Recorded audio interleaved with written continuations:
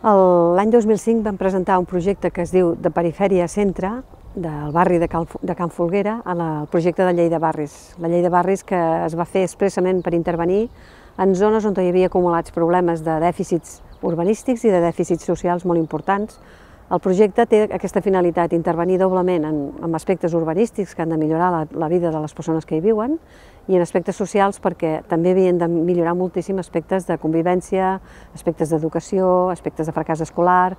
i així va ser com va començar la intervenció en el amb llei de barris. Fins ara, que estem a punt de tancar, al final del desembre de 2015, acabarem tot el programa, haurem fet tot el que estava previst, a, a través de vuit camps, que van des de la conversió dels espais que abans eren descampats, com el Parc Central, al, al front de la Granja Sol de Vila, en un nou centre, i la renovació sistemàtica dels punts eh, conflictius del barri des del punt de vista urbanístic. Allà on faltava, per exemple, rehabilitació, s'ha ajudat a la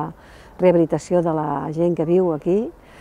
S'ha ajudat també a, a treure barreres arquitectòniques dels edificis en tots els punts d'entrades de, i sortides dels barris. Evidentment, l'ajuda és a, eh, amb la intervenció també econòmica dels, dels ciutadans, per tant, els nivells d'intervenció depèn d'ells mateixos, de posar-se d'acord les comunitats, no? i a més a més en situacions econòmiques a vegades molt, molt diferenciades, algunes molt, molt, molta dificultat. Les actuacions són moltíssimes, són de l'ordre de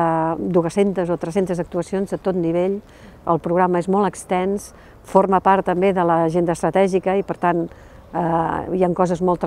Són dues formes d'aprenentatge, aprendre a treballar transversalment, els urbanistes hem hagut d'aprendre a treballar amb la gent que treballa els problemes socials i a la inversa, no ha estat eh, fàcil i l'altra qüestió és la, intentar que treballessin molt la cooperació